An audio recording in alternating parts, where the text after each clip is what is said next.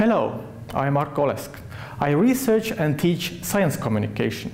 This means both how to explain complicated things to a broad audience and how science is being understood and accepted by people who are not scientists. This is especially important these days when information is the easiest thing to spread and it is increasingly difficult to make sure what kind of information to trust.